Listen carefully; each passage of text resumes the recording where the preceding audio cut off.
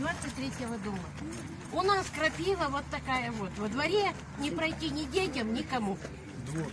Да, двор. Почему говорите? Вообще, вот вы пройдете, посмотрите, вы там вообще Во упадете. крапива. Крапива вот такая у нас. Никто не хочет косить. Я смотрю, у вас ничего нет. Никто Давайте не косит. траву.